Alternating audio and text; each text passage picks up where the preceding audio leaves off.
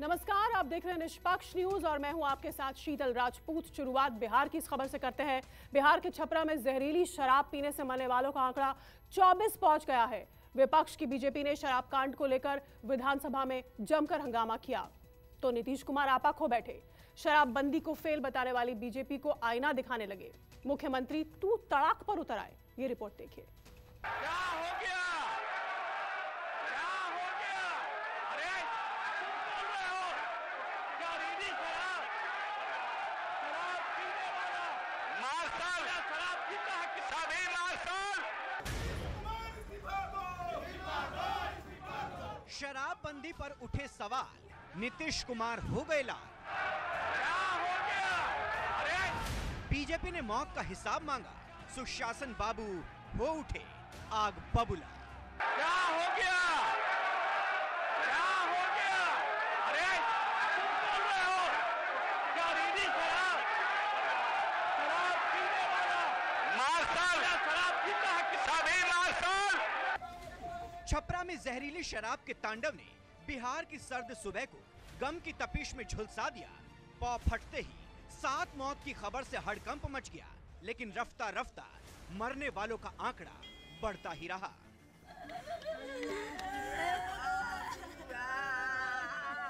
शाम ढलने तक 20 से ज़्यादा घरों के चिराग बुझ गए। आँगन से अस्पताल तक चीख चित्कार मच गई।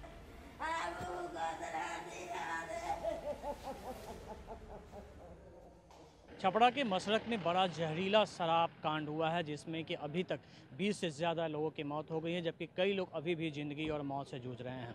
ये छपरा का मसरक थाना है, मुख्य मेन रोड पर, और यही बाज़ार है। आपको दिखाएँगे कि यही वो बाज़ार है, जहाँ पर इस से, बाज़ार से जुड़े करीब चार पाँच पंचायत के लोग इस हादसे के शिकार, इस घटना के शिकार हुए हैं और इन लोगों ने इसी छपरा बाज़ार में मार्केट शाम की खरीदारी करने आए थे और शाम में लौटते वक्त इन्होंने शराब पी थी और शराब पीने के बाद घर गए और रात होते होते उनकी स्थिति बिगड़ने लगी और लगातार मौत का सिलसिला शुरू हो चुका है।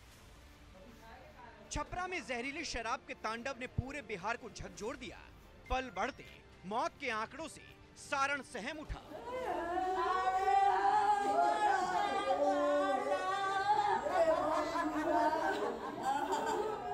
पलक झपकते ही छपरा की चीख पुकार पटना पहुँच गई। विपक्षी बीजेपी विधायक हाथों में तख्तियाँ लेकर सुशासन बाबू पर सवाल दागने लगे। नीतीश सरकार की नाकामी के नारे लगाने लगे। जो नशाबंदी है, उसको लागू करने का जो तरीके हैं, उसको और बेहतर करने की ज़रूरत है और छपरा में लग, और कई इसके पूर्व में भी कई जगह जहरीली शराब की घटना हुई है। इसे और विलम्ब रोके जाने की ज़रूरत है क्योंकि इसमें समाज का ऐसा तबका जो कहीं न कहीं गरीबी रेखा से नीचे है ये इसके शिकार हो रहे हैं। परिसर में नीतीश सरकार के खिलाफ नारेबाजी करने वाले बीजेपी विधायकों की टोली। सदन में भी सरकार पर हमलावर हो उठी। बीजेपी विधायकों ने सवाल दागा कि आखिर शराबबंदी के बावजूद छपरा में जहरीली शराब आई कहाँ से? शासन, प्रशासन, क्या कर रहा था? सुलगते सवालों के शूल ने सुशासन बाबू का सीना छलनी कर दिया और वो बीजेपी विधायकों को उन्हीं की ज़ुबान में समझाने लगे, तू तड़ाक पर उतर आए। क्या हो गया क्या हो गया अरे तुम बोल रहे हो क्या रेडी शराब शराब पीने वाला मार्शल क्या शराब पीता है कि सभी मार्शल एंग्री यंग मैन वाले नीतीश के तेवर ने बीजेपी विधायकों का गुस्सा सातवें आसमान पर पहुँचा दिया। हंगामा इतना बढ़ा कि स्पीकर के लिए सदन चलाना मुहाल हो गया। शोर के ज़ोर ने सभापति को कार्यवाही स्थगित करने को मजबूर कर दिया। बीजेपी के विधायक जो बातें सदन में कह ना सके, बाहर आने पर वो रोके ना रुके। मीडिया का माइक देखते ही नीतीश कुमार को कोसने लगे। सुशासन पर सवाल के साथ ही शराबबंदी के फेल होने का सबूत देने लगे। ये दुर्भाग्यपूर्ण है लोकतंत्र का हत्या है। मुख्यमंत्री जी संविधान की धज्जी उड़ा रहे हैं और पूरी तरह से ये अपने अहंकार स्वार्थ में और अपनी कुर्सी के लिए इतना घबरा चुके हैं कि मर्यादा को तार तार कर रहे हैं। ये सरकार अब बिल्कुल विफल हो चुकी है। सरकार को इस्तीफा देना चाहिए। सरकार जो कानून बना रहा है कि जिनके ज़मीन में जिनके घर में दारू मिलता है उनके स्वामी को भी पकड़ा जाए। मैं तो स्पष्ट शब्दों में कहा है कि बिहार के मुखिया नीतीश कुमार जी आप ऐसा कानून बनाए हैं, इसमें आप भी अपराधी के रूप में माने जाएँगे, क्योंकि आपसे आज तक शराबबंदी कायम सफल नहीं हुआ और आपके द्वारा, आपके अधिकारियों के द्वारा, पदाधिकारियों के द्वारा जहरीली शराब बनवाया जा रहा है। और लोगों का निर्मम हत्या हो रहा है। आज तक इस तरह मुख्यमंत्री जी का बिहेवियर नहीं देखा। देख करके लोग हतप्रभ थे कि इस तरह अकेले क्यों चिल्ला रहे? सारे पक्ष के भी सदस्य बैठे हुए थे, मुख्यमंत्री जी अकेले चिल्ला रहे थे। इससे यह स्पष्ट है कि सरकार के संरक्षण में बिहार में शराब बिक रही है। शासन प्रशासन के लोग शराब बेचवाते हैं। और संरक्षण देते हैं। गरीब मर रहे हैं, पासी समाज के लोग मर रहे हैं, पासवान समाज के लोग मर रहे हैं और शराब में सरकार का संरक्षण है, बिहार में शराबबंदी धोखा शराबबंदी में जब आवश्यकता पड़ी, हम लोगों ने संशोधन किया है। जब कानून बनता है तो अंग्रेज़ों ने भी कानून ईजाद किया आईपीसी सीआरपीसी उसके बावजूद भी कानून तोड़ने वाले लोग हैं। और अन्य राज्यों में जहाँ शराबबंदी नहीं है, वहाँ भी घटनाएँ घटी हैं। जैसे तमिलनाडु, कर्नाटक, उत्तर प्रदेश, पंजाब और बिहार में भी शराबबंदी कानून आने के पूर्व में भी जहरीली शराब से मौतें हुई हैं। तो निश्चित रूप से जो भी इसके लिए दोषी है, उस पर हम लोग कार्रवाई करेंगे और सख्त से सख्त कार्रवाई करेंगे। पटना की सियासी तपीश दोपहर से पहले ही दिल्ली में दाखिल हो गई। लोकसभा के शीतकालीन सत्र में शिरकत करने आए बिहार से जुड़े तमाम सांसद शराबबंदी में नुक्स निकालने लगे। छपरा में जहरीली शराब से हुई मौतों के लिए सीधे तौर पर नीतीश कुमार को कसूरवार ठहराने लगे।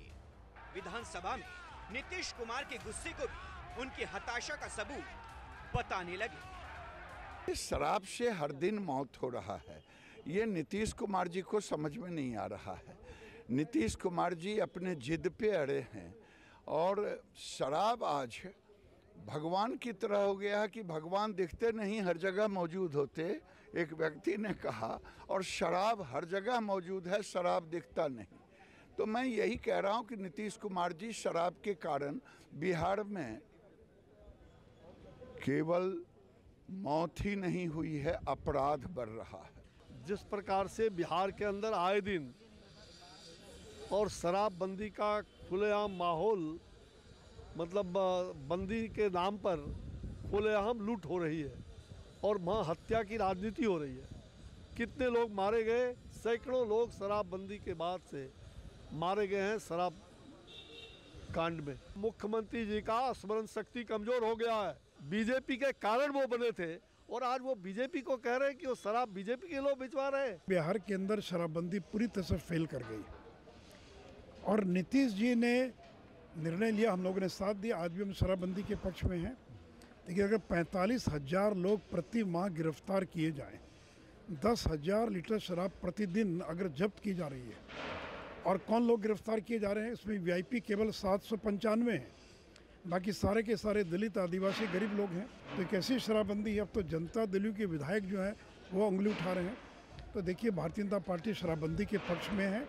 हम चाहते कि शराबबंदी लागू रहे। लेकिन उसको ईमानदारी से लागू करवाना आपका काम है। पटना से दिल्ली तक बीजेपी नेताओं के इल्जामों से झल्लाए, तेजस्वी यादव भी मीडिया के सामने आए। डिप्टी सीएम ने बीजेपी को पुराने दिनों की याद दिला दी।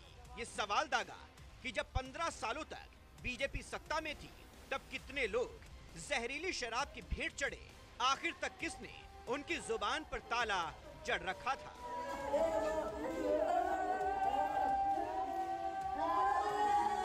की जो लोग बात कर रहे हैं शपथ तो इन लोगों ने भी लिया था।